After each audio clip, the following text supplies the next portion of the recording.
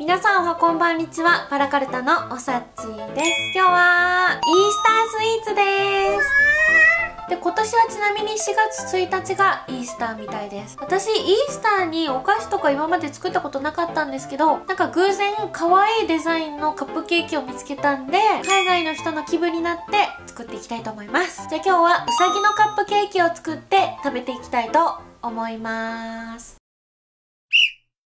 カップケーキの材料はこんな感じです。作ってみてね。まずケーキ生地を作っていきます。計量カップに牛乳 40ml とヨーグルト 30g を合わせて入れておきます。薄力粉 100g とベーキングパウダー 4g は合わせてふるっておいてください。室温か電子レンジで柔らかくしたバター 60g を泡立て器でクリーム状にしたらここでオーブンを180度に予熱しておきます。先ほどのバターに砂糖 80g を入れて白っぽくなるまですり混ぜたら溶きほぐした卵を2回に分けて入れその都度よく混ぜ合わせます。さっき合わせておいた牛乳とヨーグルトを半分入れてふるっておいた粉も半分だけ入れてしっかり混ぜ合わせます。残りの牛乳とヨーグルトを全部入れて混ぜたら残りの粉類も全部入れてゴムベラでさっくり混ぜ合わせます。完全に混ぜ終わる前に最後バニラエッセンスを加えたら生地の出来上がりです。カップに生地を8分目まで流し入れたら次はオーブンを170度に下げて20分から25分焼き色がつくまで焼いていきます。生地が焼けたら冷まします。その間にバタークリームを作りましょう。室温か電子レンジで柔らかくしたバター 100g を泡立て器でクリーム状にしたら粉砂糖 160g 生クリーム 30ml バニラエッセンスを加えて滑らかになるまで混ぜ合わせます。クリームができたらデコレーションしていきましょう。ピンクの粗めの砂糖を小皿に出して半分に切ったマシュマロの断面をこの砂糖につけていきます。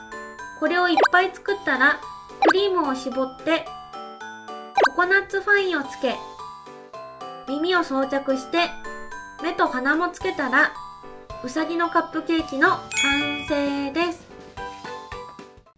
手前が子うさぎ後ろが母うさぎだよ。微妙に顔が違ってブサ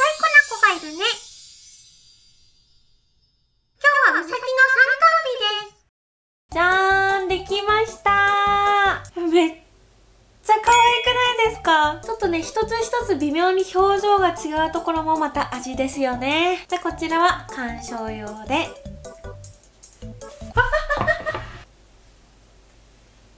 生きてる。大丈夫だった。本当に大丈夫だった。安心して。